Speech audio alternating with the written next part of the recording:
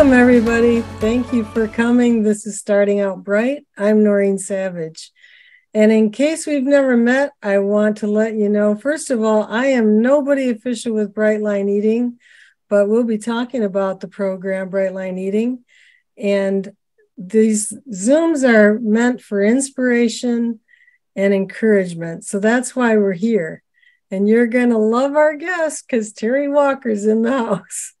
Before we get started, I'd just like to tell you a little bit. Like I said, I am nobody, um, nobody with Bright Line Eating, and how I got acquainted with the program is through a simple post on Facebook. My friend Lori posted that she had lost 57 pounds with a program called Bright Line Eating. If anybody was interested, they could give her a shout.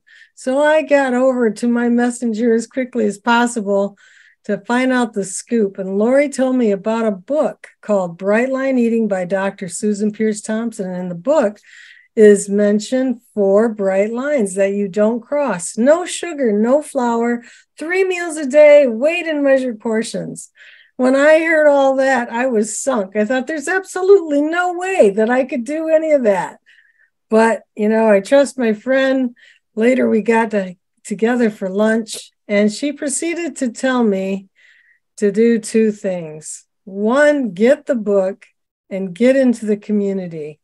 And I did both of those. I first jumped into a private group called We Eat Right with Lines. There are many groups now. Starting Out Bright is a group that I began in connection with these Zoom chats, but many, many groups. And when I got in that one, I just sat and watched transformation after transformation, people losing weight, like a lot of weight, not just 10 or 15 or 20 pounds like I was doing over the months and years, the decades of diet after diet after diet, but they were losing like 50 pounds, 100, 150 pounds, even more. And for the first time in a long time, I felt so much hope that maybe this time was going to be different I promised myself that if I lasted one year, I would do what my friend did. I would post on Facebook and I would help anybody that I could. Well, I got started in July 20, 2019. It took me a couple months to get motivated enough to do it. I got started and I'm a Christian. And that year came up July 2020. I was sitting right in that chair back there, remembering my promise to post on Facebook, thinking, what could I say? And I felt God say to me, Noreen, you can do more than that. You could connect people. Look at where you were, how I was inspired. I was at 270 pounds, five foot two, in excruciating pain in my knee, swollen feet, sleep apnea, many times really wondering if I would wake up in the morning and all of the things that go along with it. So I was in a tough spot. And to be so inspired by these people, if I could just get some to come and talk to those who were like me, wouldn't that be great? Well, who would come? Well, it's people like Terri. And I've had a chance to talk with Terri this past week, and she's the real deal. Her heart is full of gold and ready to give some of that gold to you. And you're going to love her. So let's get right to it. Hi, Terri. How Hi, are you? Oh, I'm so happy to be here. I'm excited to speak with you tonight. This is be fun. I'm interested to hear what we come up with. Right. well, you know what? That's the thing. We just had this chat by Zoom uh, this past week, and you know, I like to do that just to get to know each other, and and in that process, always these topics come up. So we're going to talk about some of the things, and then probably some new things. Yeah, yeah. But one topic that came up that you were no stranger to when I mentioned about no sugar, no flour, three meals a day, weighed and measured, Wow, you jumped on talking about the no sugar piece. That was something that you went like a deep dive in for, right. I believe you said 15 years prior to bright line eating. So I wanted to bring you up to speed to that part that I, I really wanted to get that in, that you were not a stranger to that. Can you take it from there? Yeah. So um, I you got to BLE then. Yeah. So um, it was, it was around the year 20, uh, r- around the year 2000, um, when I first started my uh, ad- addiction recovery with sugar. Um, I knew that sugar was a problem. I had had a weight problem my entire adult life. I could not figure it out, and I knew that I I knew that I was addicted to sugar.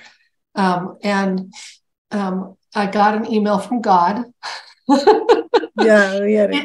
Um, the sender said Amazon, but um, but we know it, where it came from. And they said that based on your purchasing history, you may be interested in this book that's being released. So I bought a book.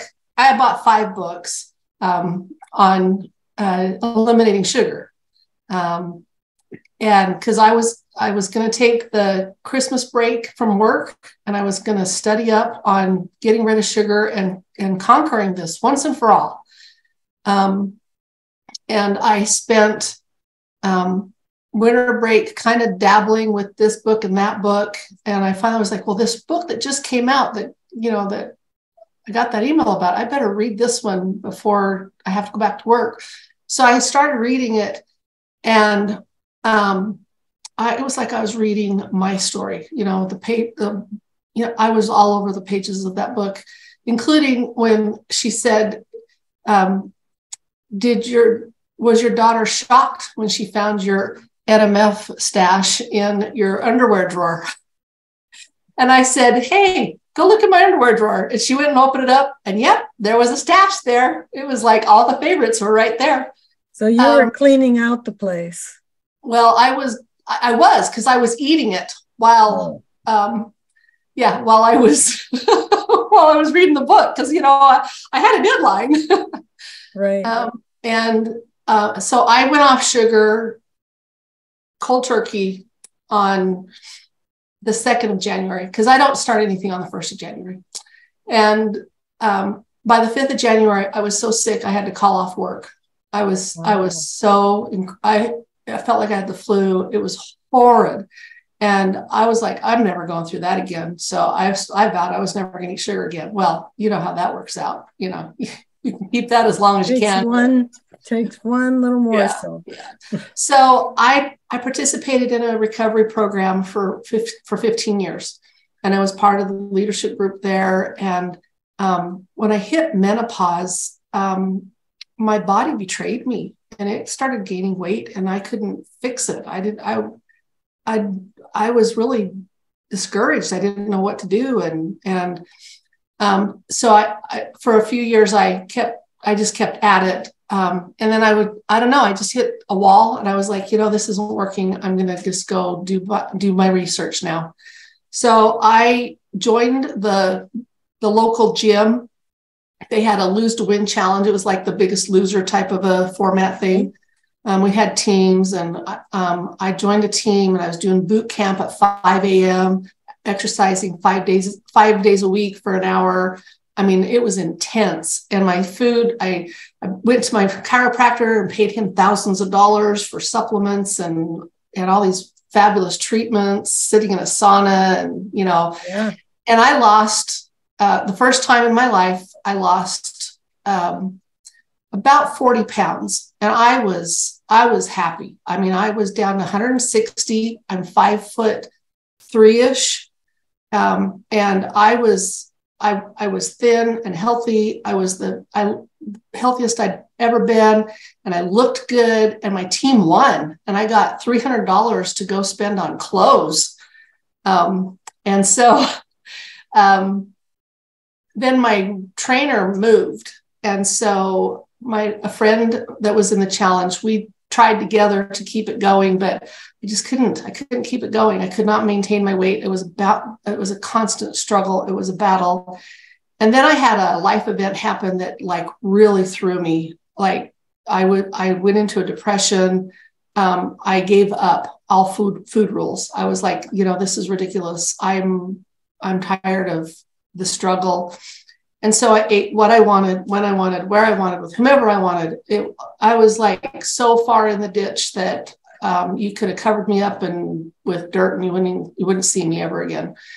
It was painful. It was um, physically and emotionally. It was a really really hard time. Um, and I got back to that desperate place. Um, I weight gained all my weight back. Uh, I I was I was a cliche.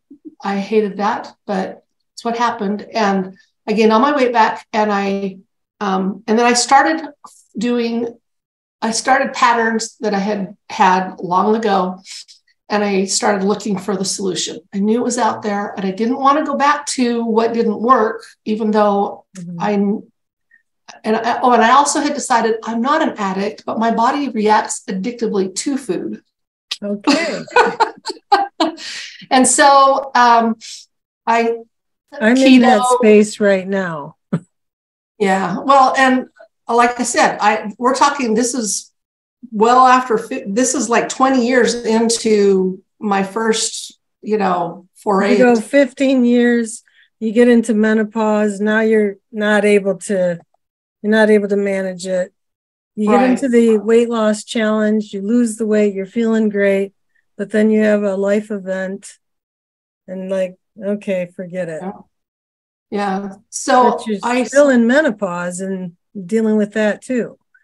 Right. Oh yeah, yeah. And I and I had sleep apnea. Well, and um, and I actually still sleep with my CPAP machine, even in my bright body, and I'm okay with that. You know, I have a family history. I've got a really thin brother who has sleep apnea, and I have a really heavy brother who has sleep apnea. So I think it's just part of our mm. genes, whatever.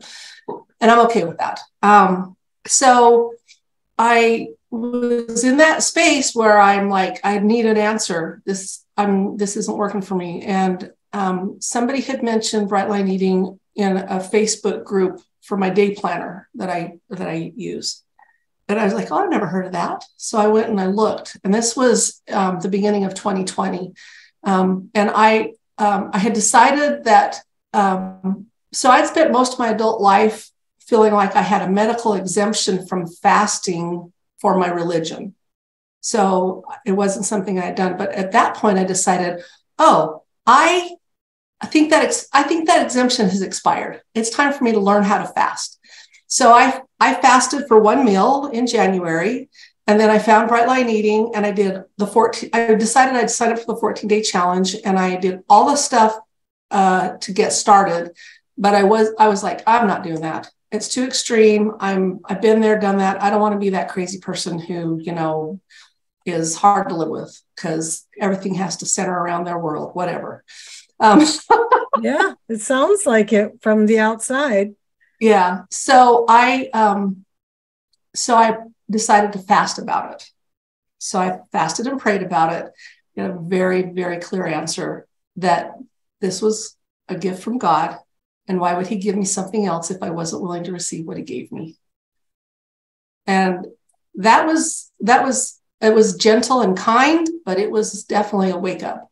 And so I pushed the button, I'm ready to start. And that was 02022020. So February that. 2nd, 2020. Isn't that fun? I love that. I'm a numbers person. So, um, so you're budgetary. Yes, I am budgetary. I'm a budget analyst by by profession, and I'm I'm budgetary. so um, so I pushed the button, and I've been bright ever since. I I have no reason to. Um, that's three years of four bright lines. Yes. Well, yeah. now three years actually. Yeah. No, and so and I did. It took me a year. I lost 100 pounds in a year. I've gained a little bit back. Um, I I think I went a little too low, but um, but you know it's funny because I don't really. I'm, my weight is really not an issue anymore. I still identify as someone who has a weight problem, but oh, like my weight, body my weight, dysmorphia a little bit. Oh yeah, yeah. I still I look in the mirror and I'm still shocked that I'm thin. so let let's say that again. In three plus years, you have stayed bright. Now, the term in Bright Line Eating is Crystal Vaser. Yes. Meaning this program is so is in it in it's solid. Yeah. It has not gone off. So we ought to talk about what has been most helpful to you and maybe some of the struggles along the way that you've had to overcome. Because I don't think anybody gets through even three and a half years, even not bright sometimes, unless they have figured out what actually works. So right. let's start from the beginning. Did you end up going into boot camp? Um, I didn't go into boot camp immediately, um, partly because I've already spent so much money on. Trying to lose weight. I just, it was like, I know how to do this. I have 15 years of recovery experience. And, um, but I will tell you that that model of paying for every class you take was that that was a problem for me. I I didn't I was I was born to be uh, a part of Bright Line Eating when oh my gosh I just got an answer. I was born to be a part of Bright Line Eating when All Access became a thing. hmm. um, you know, I, I mentioned to you the other day that why did it take so long for me to hear about Bright Line Eating? I don't understand it, but I do believe that God has a plan for all of us. And uh, timing was, is everything. Yeah, I wasn't ready for it when uh, Uh, before I was ready for it, and I was ready for it. I don't know if you're hearing this storm on my end or not, no. but there's thunder and it's like yeah. crazy over here. So just putting it out there in case we flash off or something. Yeah, every once in a while we'll see the lightning. Yeah, but, it's yeah. it's really interesting over here. But but anyway, so you got you got very into the book, right? I did, um, and I had a friend. okay, I have a friend. I called her and I said, "Okay, this this is how she tells the story." Um, I've been doing a new program for about two weeks, and I had I lost like I don't know. I, I think I lost like 13 pounds the first two weeks. It was a ridiculous number. It was totally ridiculous. And you I, lost 13? Yeah, like wow. a bunch. I was I started out at 224 um, when I started Bright Line Eating, and I lost a, a bunch of weight immediately. You and, know what? This is starting to get more believable. you remember on this with Deb? Yeah. And it said lose 30 pounds in 14 days. I'm starting to believe that there's somebody that does. Well, if you, I think the more weight you have to lose, the more the, the the big that big chunk at first is common is is pretty common. It's not for not everybody, but no. But, but yeah. if a woman can lose 13 pounds, imagine a man. I mean, oh, yeah. that's just the way it is. Men yeah. always seem to lose more. Yeah. But so anyway, yeah. just throwing that out there. Yeah, yeah. So I called my friend and I said, I've I've been doing this program and I've lost weight. And I realized that when I lose all my weight, if I haven't told you about this, you're going to be mad at me. She says, I said, when I lose all my weight and you're still fat. say that. It was implied, yes, but I didn't say that. Wow. No, yeah. you got to tell your friends. You just yeah. have to. Yeah. So she became my buddy, and um, she did. She did. Bright. She is not currently doing bright line eating, um, and that's okay because we all have our own journey, and we all have to find our own way. And so we're still best friends. And I still talk to her regularly. I still send her my food every so often. I'm like, haven't committed my food to you for a while. So here it is, you know. well, let's talk about the food too. How do yeah. you do your food? I mean, you you must have that just locked down. Well, I I really consider myself lucky because I love my food. Like I love my food there, there's I eat the same thing for breakfast five days a week, sometimes seven days a week. Um, and that's what's in the slideshow is that that uh, little concoction of um, yogurt and cottage cheese and seeds and nuts. When I was doing weight loss, I did yogurt and cottage cheese. I didn't, but then when I added, I added seeds and nuts. Um, oh. So uh, when I, when I yeah. And um, so I have that for breakfast with fruit. And um, right now I'm doing sweet potato and oats uh, for my. Okay, let's talk about that. This is all in this breakfast bowl. Uh huh. There's a lot of stuff in here. Yeah. And, so, and I got so, this idea from a Gideon game team member um, from Australia. It seems kind of like an odd combination just on the outside looking in. You've got sweet potatoes, cottage cheese, um, yogurt, yogurt, seeds and nuts, but that's mm-hmm. because you're in maintenance. Right. And then what am I missing? Just the fruit? Well, fruit and and I, um, I I do some sweet potato and some oats. That's what I'm doing right now. Just okay. roll those. And you mix this all up. It's I mix it all up in a big bowl and yeah, it has to be a big bowl. So yeah, that's my breakfast. And I look forward to it. Even on my days off, I'm like, you know, I think I'll just eat regular food, my regular breakfast, my regular breakfast. Um, but if I'm, if I have like leisure time and I'm like, oh, let's splurge, I'll cook some, I'll make myself an omelet with three eggs and an ounce of cheese and then I'll have some. That's a lot. Yeah, yeah, it is. It's a maintenance breakfast. Um, and then I'll have some Ezekiel toast and hash browns and some fruit. I added vegetables to my breakfast for um, maintenance as well.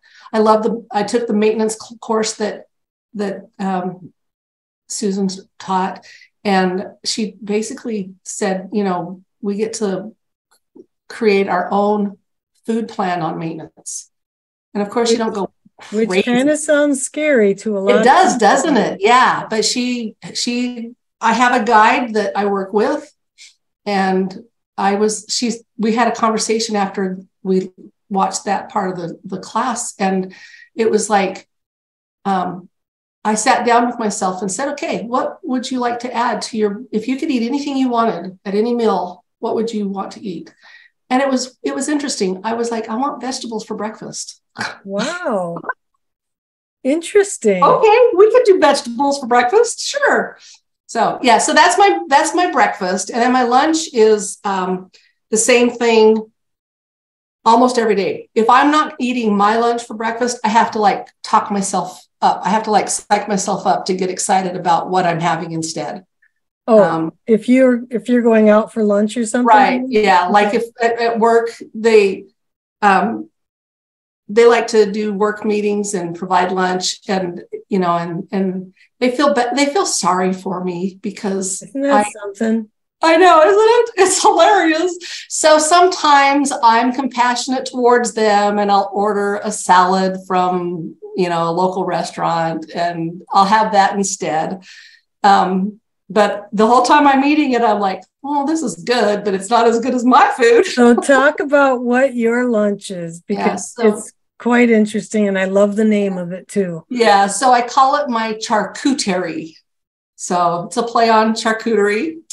Um, and it's, I have uh, almost always, I have turkey uh, I like to buy the Costco turkey roast that's not sliced, and then I I chop it up into like chunks that are like finger sticks, you know. Mm-hmm. Um, and so I have turkey and uh, little little cute little cornichon dill pickles, um, and um, in case people don't know this, you can have two ounces of pickles or sauerkraut as a condiment. Right. So, yeah, that's that's that's important information in my world. Um, and then uh, I I currently have 12 ounces of raw vegetables. Um, I might do some I might do some cooked vegetables if there's some leftovers that that work in mm-hmm. that kind of a bowl. Um, and then I have um, two ounces of hummus. Um, although I will say that the hummus that I'm using, that I've used almost exclusively, I've tried different hummus, but the one I like best is the Costco hummus, and it's actually two and a half ounces. But I count it as one measured. Um, it's one measurement. It's one, so okay. it's not like, and it works for me. Um, so that's my that's my lunch, and then I almost always eat a banana um, because for the better part of what 30 years bananas were too high in sugar that's not a good food to eat yeah that was so. in my first breakfast i'll never forget it yeah. i'm looking at my breakfast of eggs rice and a banana and i'm thinking how do i get to eat this yeah and i was so full because yeah. you know all this dieting no yeah. way could i have had that yeah. Well, when I first started eating, I, I uh, the Brightline eating, I, um, I was doing the six ounces of vegetables at lunch and the 14 at dinner. And I, I couldn't do it. I was like literally going to throw up on the third or fourth day. I was like, I can't eat all this food. And I went online on the, you know, the Facebook page online and said, what do I do? And someone said, you split them 10 and 10. And I, so I did. I split my vegetables 10 and 10. I now do uh, 12 at lunch and 10 at dinner. Um, and that works for me. So, um, so that's my lunch. Um, I added a grain to lunch. Um, what do you normally have? Like Triscuits or something? Triscuits, yeah, usually. That um, would go well with that. Yeah, I have to make a comment here because you mentioned the banana yeah a couple comments one saying i'm having a banana right now and others deb is saying i didn't have a banana for 25 years yeah. that's not that's probably true. I mean yeah. all the dieting that was just so taboo. Yeah. have a banana for crying yeah so i i don't like to choose favorites because to me if i choose a favorite that's eliminating all the other options. You know they they don't have the opportunity to be a favorite but bananas are right up there grapes yeah. right up there yeah so and you like the i know you told me the other day you love the combination of grapes with pecans yeah in my breakfast mm-hmm. i almost always push the grapes and the pecan over to the like the last grape and pecan over to the edge of the bowl so it's the last bite I I really love the idea of the charcuterie though, the yeah. charcuterie. Yeah, and I it's just a, that idea. I have a little bento box. I actually have six of them, and I fill them all. I try to fill them all once a week. Um, I don't always have time for that. I try to do it on the weekend, um, and um, that makes me happy when they're all done. But and and I've gotten really good at it. I it used to take me hours to do it, and now I can do I can do six in a little over an hour. That's uh, to me that's amazing. I what skills I have. well, and to have that done now for for dinner, does that come into play with like family members? Where are you well, eating something different? Um, we okay, so I have an empty nest. My children are all okay. grown. Um, we do have boarders that rent from us. I call them roommates, um, but they don't eat with us. Um, so it's pretty much just my husband and I. Um, and I, uh, my husband cooks um, almost as much as I do. Well, yeah, he cooks almost as much as I do. Um, and um, so uh, he'll frequently cook like meat on the grill. He'll smoke a whole bunch of meat and we'll eat that all week.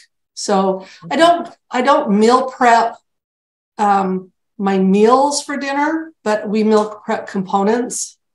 And um, and I want to say that I'm really pleased to share with you that I recently heard Susan say that um, that someone that had called in had earned the privilege of just writing down that they were going to eat a bright meal and that was a food commitment. Because and that's me. I don't i don't have problems with willpower and depletion at night when it comes to my food. My food is so eating bright is my identity. I will eat bright no matter what because that's who i am. Just like a vegan doesn't choose to be a vegan only when it's convenient. That's how i feel about my bright lines. They are a part of my identity. And the other day when I asked you if did you ever have an aha moment, I loved your answer of if you can't be bright, what do you do? Yeah.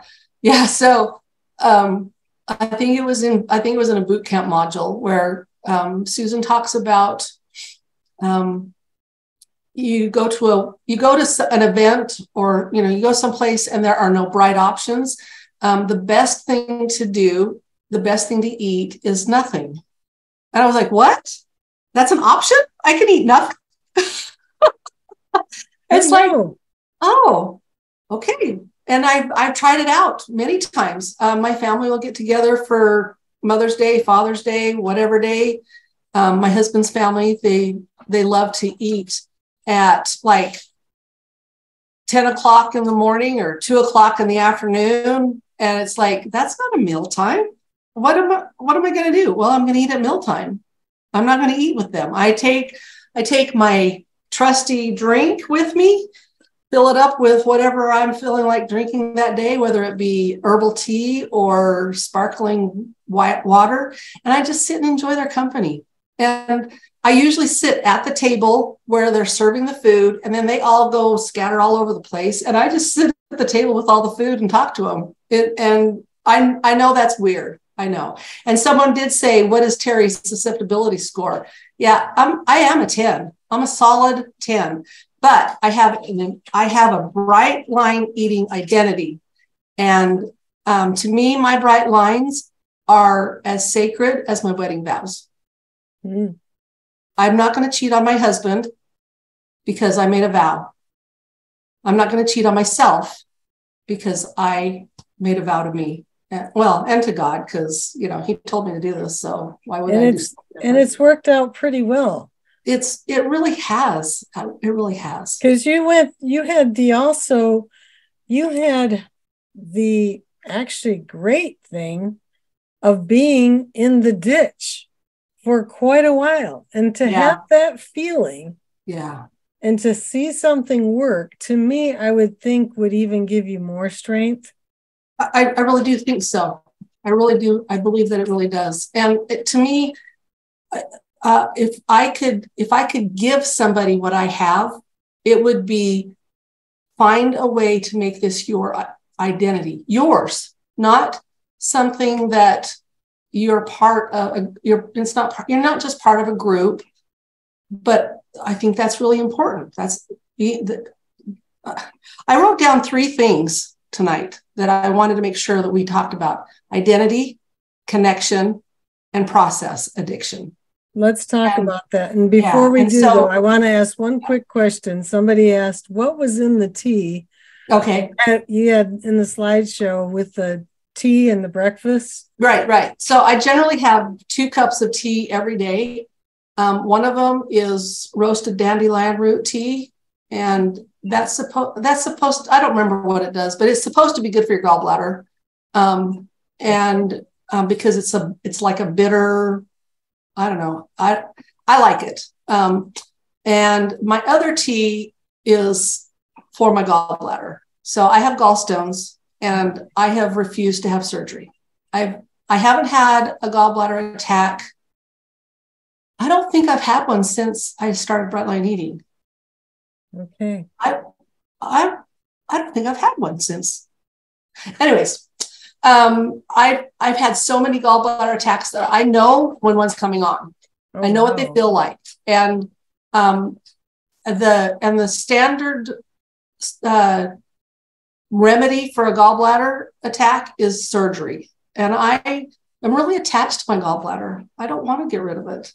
So I did a bunch of research and I did a bunch of studying up. And so my gallbladder tea is kind of a, um, it, it's a, it, it's a an adjustment to a recipe that I that's supposed to help with gallbladder function, and I really think it does. So um, I've worked up to this. I don't try this straight up because it's it's I just I'm just giving you the warning up front. So I've got two tablespoons of apple cider vinegar. That's okay. a lot. That's a yeah. lot. Um, a, a uh, ginger turmeric tea. Okay. Um, and then the wild is it the wild sweet orange by Good Earth? Is that what it's called? Mm-hmm. Yeah. I and then I, so. I found this cranberry harvest tea on Amazon. So I have those three tea bags, and that um, steeps in. Uh, I let it steep for an hour or two, maybe three, maybe all day. Sometimes I drink it the next day. but the gall, the apple cider vinegar is um, very, very helpful for gallstones. Wow. Yeah, and there's there are some um, gallbladder cleanses that um, I've never been willing to do because I'm afraid of giving myself an emergency gallbladder surgery. Um, so I just do the things that will um, try to help my gall my gallbladder. And I had I I had a, a um, an ultrasound not too long ago, and my doctor said, "You have gallstones." I'm like, "Yeah, we know that." Oh so my gosh. I still wow, have this them. is really something that you have to pay attention to. Yeah. Yeah. So, you know, right. it sounds like you're doing everything you can. Yep. Yeah. yeah. And I I'm really pleased to to say that I I did not realize I haven't had a gallbladder attack since I started Brightline eating. Wow. Three years. That's yeah. great. Okay. So I want to get to those three things that you really wanted to make sure that we talked about. Yeah. And the first, the identity, you have you have talked about that a bit. Yeah. With each bright meal, you become more identified, right? Yes. Just... Yes. And um, James Clear, his book mm-hmm. Atomic Habits. Yes. I think that that is a primer for how to develop an identity of anything. Um, and and I, and I know that Susan has really promoted his practices a lot. A lot of what we do in Bright Line Eating are that's kind of like right up our alley. So yeah, identity is it's uh, to me that's the key to really changing your life is developing an identity. Right. Like if if you're saying, well, I can't start on I can't start tomorrow because I always start my diets, you know, like over the weekend or whatever. Like on Monday. We're not just talking about a diet. We're talking about we want to just eat this way. Right. And what? We've got one second. I think that okay. So I one thing I wanted to talk about too, you sent me a vlog the other day, and it was about substance and process addiction. Yes. That was fantastic. I had never heard Susan's blog on that. Do you want to talk about that just a little bit? Yes, that I do. Powerful. Okay, so she talks about the four bright lines, the first two, no, no sugar, no flour, they address substance addiction. So um, the body re- does react addictively to white powdery substances that have that alter your state. yeah. Whether it's sugar, flour, cocaine, heroin, whatever, you know. Yeah. Um, so, uh, so we address substance addiction by eliminating those. Um, and we can all tell you that a little is, you know, one is one is too many and a thousand is not enough. And that is that is so, so true. Um, so meals only and um, bounded quantities that that addresses process addiction. And it was really fun to hear her talk about it because this Yeah. wasn't her own she didn't come up with this on her own but it rang true to her. So yeah um, so process addiction um, those are the those are the addictions that we have that um, probably like are related to dopamine and you know and um, that's why certain behaviors are so addictive because of process Well, and So- even like I think the cultural piece, you know, we grow up in this Right. culture of food. So our process is you go to grandma's at 10 o'clock and you're going to eat, even if it's not noon and Right, mealtime. yes I mean, the process of this is what we do. We go downtown and we have an ice cream cone. This is the process. Right. Isn't that what we're talking about? exactly well and and thing is is it's it is it's it's it's our survival? Right. you connect with your mother while you nurse as a baby. You learn from infancy that food gives you connection. And so, um, so process addiction. Um, so the example that I gave you was my gum habit. Oh, yeah. Um, so for 15 years in another recovery program, I chewed gum and never gave it up, even though I knew that it was sweetened. So it broke the, the sweetener line. Um, and, uh, but I always, I always like justified it because I wasn't ingesting it, you know Right. anyway, so um, so I decided 14 day challenge. I will do it as written. That means no gum. I can do no gum for 14 days. And um, I, and I don't think I cleaned out my kitchen the first 14 days because I live with other people, so I can't clean out my kitchen, which is really code for I'm not sure I'm completely committed to this. So let's wait and find out. Did you hear that boom? I no, but we saw the flash. so um, I estimated that when I finally got around to cleaning out my kitchen, I I estimate that I got rid of. Are you ready for this number? Five thousand pieces of gum. So if I didn't have an addiction to gum, um, Then There is- nobody has. yeah, there is no such thing as addiction. Um, and I will tell you that every single day for four months, I had to decide if that was the day I was going to chew gum. I was, I got past the 14 days and I was like, okay, you know, I'm going to keep going. I'm not going to chew gum. And every single day for four, for four months, I had to make that decision. And I told myself, okay, you know, I can chew gum in the future. Is today the day I want to start? No, I don't want to start today. And I did that. And then four months went by and I was like, I never even thought about chewing gum today. I must be making progress. Isn't that something? and I will tell you that by four months, I had lost a significant amount of weight by then. So you must have if you lost 100 pounds in the first year. Yeah, I had. I did. So um, I will tell you that um, it's probably only been about the last six months, and maybe not even that long, that when I am stressed, I want to chew gum.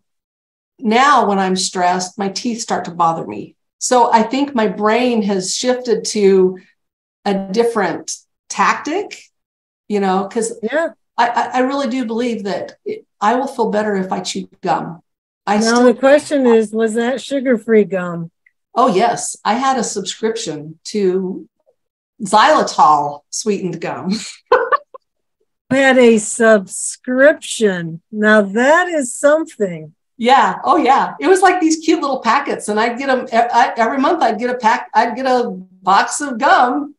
That's how you have five thousand pieces of gum. You you have to work at it to have a lot of gum.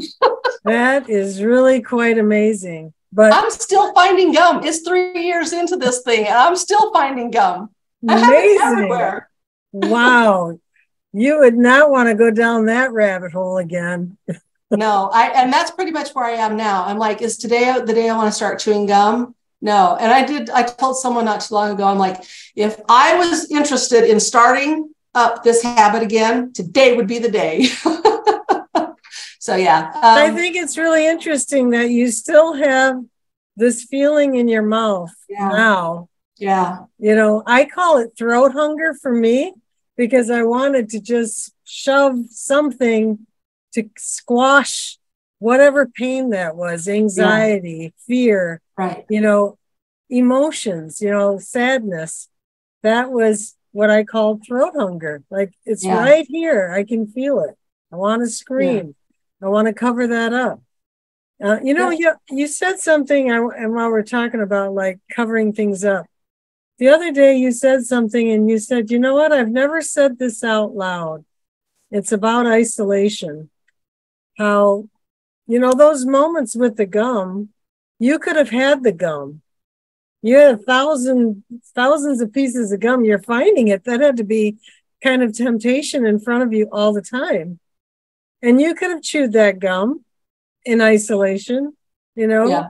Yeah. Uh, but you said, and I had never heard this before, isolation is really, it's not a thing, a part of your personality. It's really a part of the addiction. Yeah. And it goes, I think, to that one, it's in the 12 step programs. It's in the big book, I believe. That idea, the notion of this lurking idea that somehow, some way, maybe we can just have one and be normal and we're immune from the addiction, you know, or the addictive tendency, Yeah. you know. Are you hearing this storm? this is really something. Yeah. So isolation, yeah, not part of personality. It's part of the addiction. And that Yeah. was the first time I heard it was the Yeah. other day when you said that. I'll tell you that before COVID, I really thought that I could be a hermit. I could just live on the mountain and um, UPS could make deliveries. I wouldn't even have to see the driver and I could never leave. I could, I could, I really thought I could live that way. And I found COVID or I found Brightline eating in February and in March, I COVID started. So I did, I did Brightline eating through COVID. And uh, to me, that was a blessing because I didn't have in, I didn't deal with all that social pressure of food. Um, but it taught me. So I learned from COVID and Brightline eating that I I'm not a hermit. I couldn't be a hermit. I need people, um, and I now have um, I have I'm now so well connected to people in Brightline eating that even when I feel like I'm isolating, I am connecting to people. And I have a few people that I call them my comfort food. Um, they they feel that need. I call them and say, I just need to, to talk. And they they help me brew have comfort. Oh, I think you've lost your sound. So Oh, there you are. the third thing you wanted to talk about was connection, right? Yeah. And, and that is that was what I was getting from you so much, what this connection means to you. Um, these aren't just people, and you might have never seen them in real life. It's, yeah, most most of these people, most of the people that I talk to every day, I haven't even met in, in person, and they're among some of my closest friends. but you mentioned that you're on a in mastermind groups. hmm Yeah, I have. I I have. I actually have three mastermind groups. One is um, it's with my friend that did Brightline Eating with me for a couple of years. Um, we that's but that's not a Brightline Eating mastermind group. It's from a life coach program that I participated in. Um, so, but we still meet. Um, and then I have a mastermind group where we study classes. Um, the Brightline Eating classes. We're currently doing the Maintenance Two course. Um, oh gosh, I I highly recommend it. If you want to, uh, if you're not a, a paid member, if you don't have a paid membership, um, find someone that wants to do the class, pay for the membership to do the class, and then cancel the membership. You know, um, if there's a class that you've you've heard someone talk about, go and take the class. It's amazing because I, paid I paid like hundreds of dollars for classes when we first started, and now you can do them for $40 a month. That's just like, anyways, okay. So, but the point is, is that um, this group we study class, we study the classes, and um, we meet for an hour once a week, and we talk about what we studied over the week. And then I have another mastermind group that is follows the standard Brightline eating format for mastermind, except for we've shortened the time because we're in four different time zones and we found one day a week that we can all meet for an hour. And we Very keep briefly, what is that? What is that setup that you that is suggested for the mastermind group? Um, you you start out with a report. You report how you feel, a whim that you've had in the last week, and um, how you did on your commitment from the previous week. And all, all four people do that. And usually you have four people in a mastermind group. So all four people do that. And then you start your mastermind. And um, if you're meeting for 90 minutes, then everybody gets, um, I think everybody gets 15 minutes to mastermind, which is really an ample time. I, anyways, um, we get eight minutes in our group. Um, and it's and it's plenty for us because we're we're on task. Um, and then so you bring something that you are struggling with or something that you'd like to do better or um, a concept you need more information on um, and because bright line eating isn't just about food it's about inner work as well there are there's almost no topic that doesn't work in masterminding um, and then, so you mastermind, and then after everybody does their mastermind, then you do your takeaways and you your commitment for the week. And um, I put together a little spreadsheet, and that that we use as our agenda that keeps us on task. And um, Zoom now has a timer feature where you can put it up on the screen so it counts down. It's really nice and we meet on Zoom. You can do it on the telephone. You could do it on Facebook or uh, yeah, you know, like Facebook Messenger um, or FaceTime. Um, but I really think that having a buddy that you commit your food to every day, that you truly do keep your commitment to, I think is I think that is brilliant and vital. Uh, I still commit my food every day. I write my I food think down. That that is huge. The accountability piece is absolutely a game changer. Right. When you have a buddy, and it sounds like your mastermind group, the one that follows the rules, the mm-hmm. the template the format, sort of the format. Mm-hmm. Yeah, that everybody in your group, it sounds like, is committed to that, and it just yeah. keeps everybody on task. Yeah, yeah, and it's powerful. It's yeah. Powerful. So having a buddy that you commit to, and um, my my I actually am committing my food to two people right now, and they're both in my mastermind group. um, but you don't have to. It doesn't have to be that way. You can have a buddy that you commit to and a mastermind group that has nothing to. They, you know, it's it's good. It's good. Um, so mastermind group, I think um, it's there's a part of me that's like, where has this concept been all my life? You know, I've wanted to have a mastermind group for decades. I didn't even know it. Um, and then um, I think that it's vital that you have a place to go where you can be in touch with other people. So, like your group, I yes. think the group is amazing. Um, you know, there are different groups that are free that you can, you know, you don't have to spend a lot of money right. to to do all these things. And, and the suggestion was made here like if you're looking for a mastermind group to start up, just put your name out there on starting out bright in the private group and say i'm looking for mastermind people i i would bet you that you would get a group started so fast you really do have to put yourself out there i can't believe the time i do want to ask you oh. two quick questions yeah. before we go one you know you started really from a place of desperation just yes. before you got into BLE. And it didn't dawn on me until when you just said you went into COVID. Like you went through the first year pretty alone, really yeah. learning this, it was actually probably kind of a blessing, right? It really was. No I, temptation to go out. I will, I will tell you that there was a lot of pain and suffering in COVID that a lot of people experienced and i don't discount that at all i had i had family members that had horrible uh, horrible experiences. experiences. yeah so i don't discount at all but i will tell you that um, that covid was really a blessing in my life because it it it paused the world and it gave me a chance to catch up and gosh i I think that I think that if we can do that for ourselves, yeah. we can give ourselves a blessing. We don't have to wait for a pandemic. What would you say are the non-scale victories, Terri, that really come to mind when you think about this journey you've been on?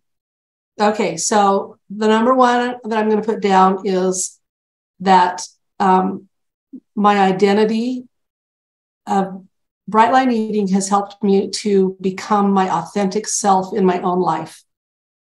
I am more me in every area of my life than I've ever been. And I show up as me. I, you know, I, I, when I'm not perfect, but I show up and I, and, and other people know it because I share. Um, I'm just, I'm able to just be me. I'm very comfortable with who I am. Um, the, another one is um, this year's focus is make it like lunch. I'm trying to make the rest of my life like lunch. Contained, variety, excitement, wow. but, but simple. And it's okay if it's the same every day because what a life to have, don't you know?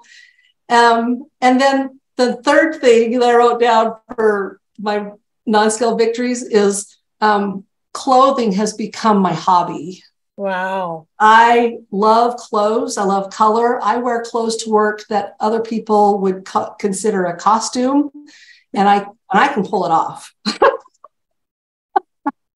you so, now got you now have options, right? I do, and my cl- my cl- my uh, closet has its own app and its own calendar, so I can what? tell you. Yeah, I can tell you what I've worn for the last 871 days because it counts. It counts on its own. What is the name of the app? Um, Style Book. Style Book. Okay. Yeah. There's a couple of them out there. Style Book is exclusive to i uh, to iPhone products. Um, Open Wardrobe is another really good one. That's great. Yeah. I've never heard of that. Yeah. So I take pictures of what I'm wearing and send them to my mom. She lives in Idaho and I live in California. So it's good to have a mom because yeah, she I can send her my my uh my vanity and she well, enjoys it. I think that's absolutely brilliant. so yeah, those are my non-still victories. oh, that's great, Terri. And my last question for you. You've been through a lot. You know, you've been able to manage this right. This is just absolutely incredible. And someone might be coming in or, or listening and thinking, I don't think I could do that. I don't think I could do what Terri's doing. What would you say to someone who is just doubtful about this kind of program? Um, it, you can't do this alone. You might be able to do it for a while, but your it, it, your life will throw something at you that will be too big to manage. You got to get connection. Mm-hmm. If if you know this the food program, no sugar, no flour, bound quantities, meals. That's nothing special. It really is not. There's there's lots of programs out there that do this. Um, but you you need people that you can rely on. You need to develop, and you don't need a lot. Find one person that cares enough about what what you're doing that they'll be your friend and branch out from there. Susan says you need six people. So work up you know, get one. One. If if you get one and they get and then you you get another one and they get another one, now you got four, you know? You can but have a mastermind group then. You, exactly. I and it's and I know that that's probably one of the hardest parts about this because um, addiction wants to keep you isolated. Addiction wants you to fail and not be able to manage your life. And, and addiction wants you to isolate. Yeah, and that is how that that how that's how it gets you. Such great advice. That's that's really true. You know, you talk about this connection piece. It is the amazing part of all of us together. What was what did you say your keystone? My keystone habit is that I meal prep one item oh. every day. Okay. Well, you know what? We're going to close out because it's time, but we're going to come back to that. Okay. So I'm going to say goodnight. Well, you know what? Let's just go three question Thursday right now. For everybody, just stay over here. Terri, how would you like to play three question Thursday? I'm going to tell you that I when you asked me that I was like, what's that? Because I don't know that I've ever stuck around for three question Thursday. So I went and did some research. I did my homework. Okay. Let's do it. Let's yeah. do it. Three question Thursday because we cannot pass on that. That's right. Meal prep. How yes. do you handle meal prep? Okay, so I I talked just a little bit about it, but the really the key here is um, I meal prep at least one item every day. It might be I went to the grocery store. I count that as meal prepping. Mm. So if I go to the grocery store, I don't have to do anything more because lugging all those groceries home, that's enough. Um, you know how many vegetables we we eat. That's that's pretty heavy. yeah. So um, I meal prep at least one item a day, um, and so like I will do all my yogurt. I'll do eight yogurt uh, cottage cheese combinations at one time because that's how many come out of the carton. So if I open up the carton, I meal prep the whole thing. I'll do that one day. And then maybe the next day, I'll do all the fruit for five days. Um, and then the next day, um, maybe I'll do the cereal, you know, all the dry stuff for breakfast. So, so it's kind of like a perpetual motion machine, you know, and um, you know what it sounds like to me? It sounds like an atomic habit. It sounds like, and I did this after I talked with you. The next day, I'm like, I'm going to do that. And I just peeled a few carrots. Yeah. And I'm like, okay, that's my thing for today. I peeled yeah. some carrots, and guess what? I could use them for lunch. yeah. You know, and and so um and, and it's funny because back when I was in the ditch, every day I would write down four things that I was going to do. These are my active Terri habits because I was trying to no longer be sedentary. I wanted to be active Terri. And so I would, it was um, no artificial sweeteners because I wasn't willing to do no sweetener at all. Still in that make a deal mode. Yeah.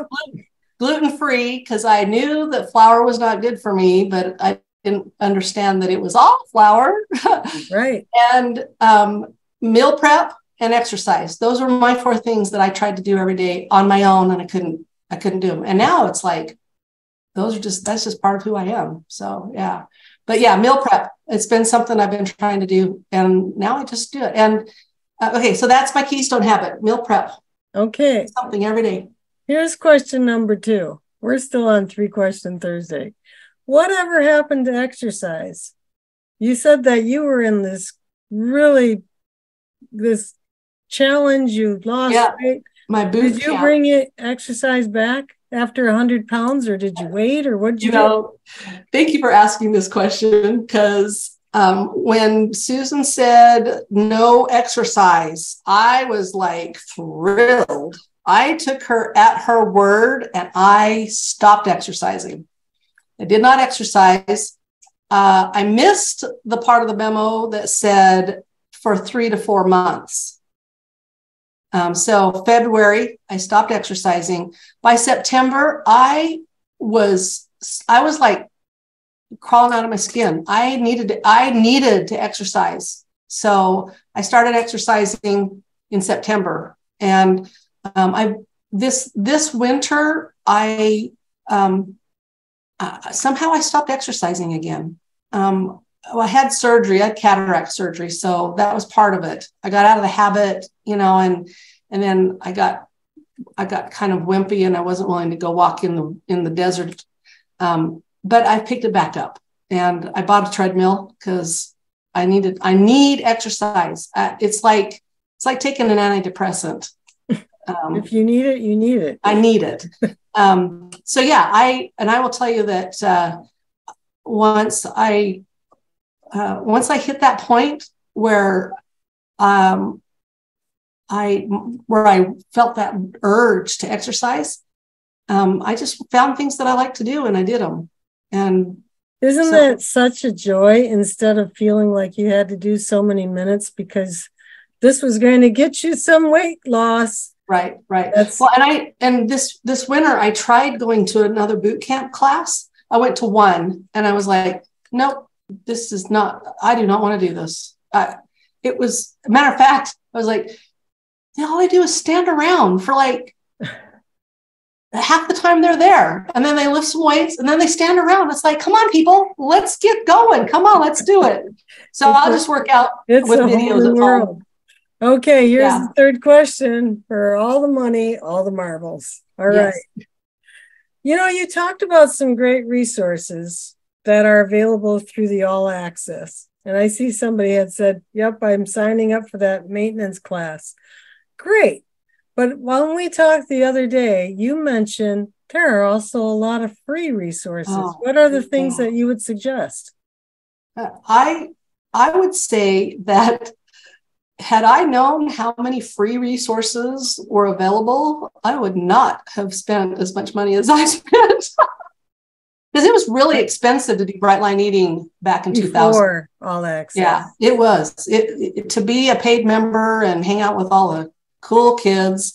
Um, now I know there are cool.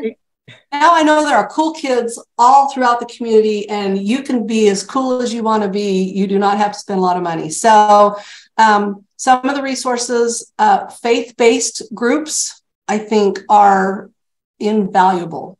Um, there's I belong to a couple of faith-based uh, bright line eating groups. I think they're amazing.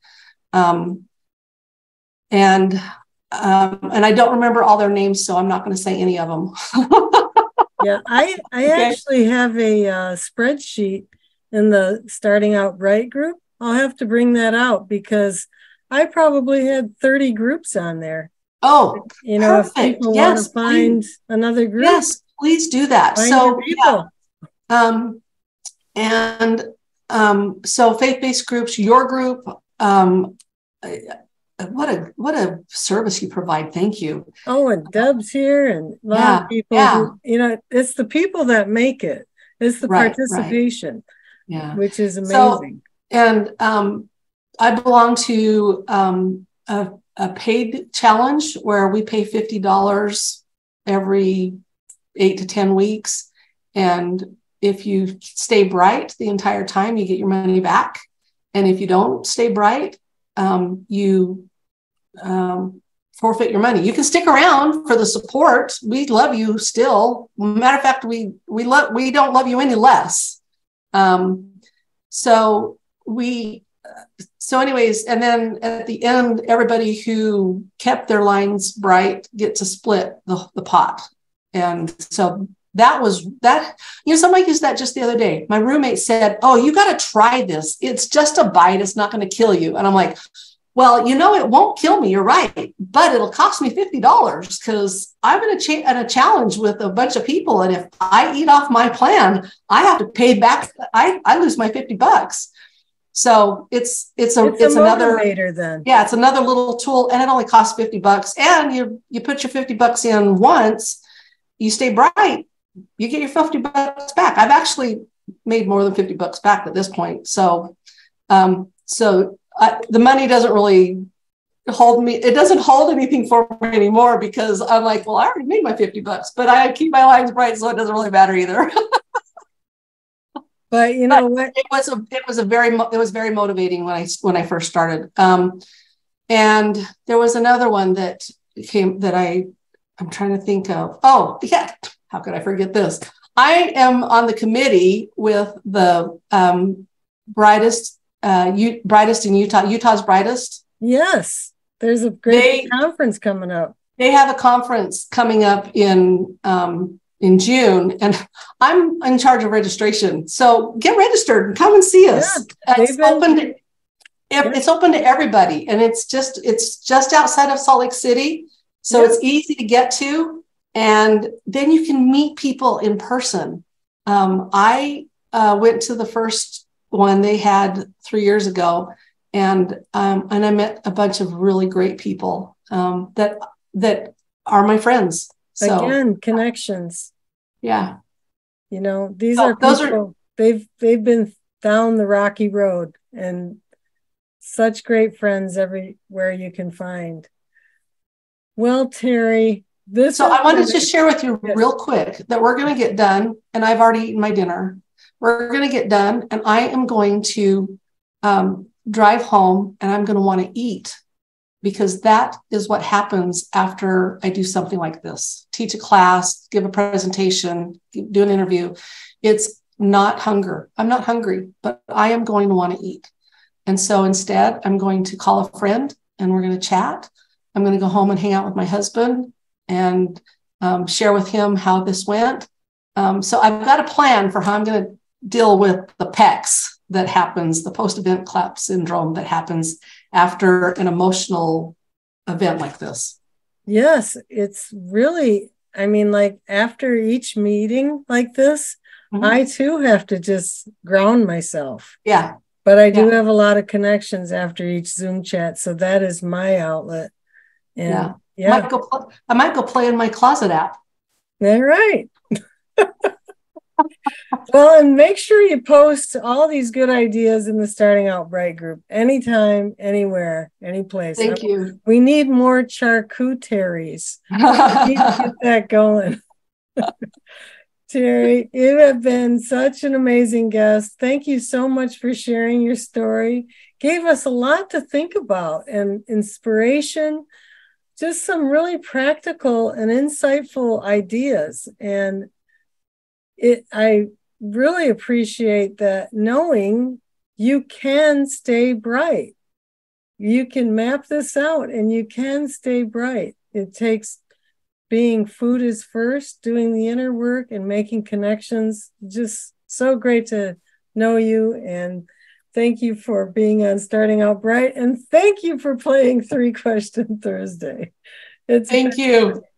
So good night, everybody. Good night. Stay bright. Don't let the bed bugs bite. Good night.